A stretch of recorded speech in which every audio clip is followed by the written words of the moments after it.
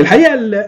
ال safety بتاعت الأجهزة اللي زي ال hemodialysis ما هياش متسابة كده لكل واحد من ال manufacturers يحدد يحدد هيعمل إيه حسب ما هو عاوز أو حسب ما هو يفكر أو حسب ما هو يعني يقرر. الحقيقة في عندنا standard مهم جدا بالنسبة لأجهزة ال hemodialysis اللي هو ال ANSI AAMI RD 5 ده بيقول لنا بالظبط في ال conditions اللي فيها خطورة إيه اللي هيحصل وإزاي هيحصل. فعادة هتلاقي في كل ال conditions الخطيرة هتلاقي فيه أول حاجة لازم ت stop ال blood pump عشان ما يبقاش في أي دم إضافي يخرج من ال patient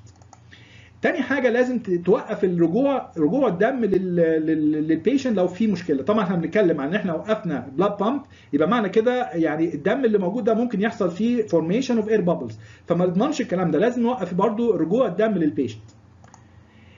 لازم ن activate ال dialysate bypass يعني نخلي ال dialysate كمان ما يمرش على ال dialyzer علشان لو في مشكلة ما, ما يبقاش ال dialysate دوت ما يبقاش مثلا في concentration غلط أو في درجة حرارة غلط ويبقى in contact مع الدم.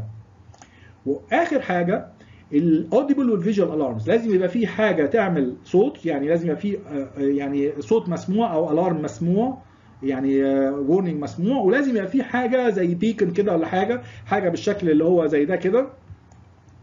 بحيث إن هو يبقى من بعيد يقدر أي حد يلاحظ إن في مشكلة.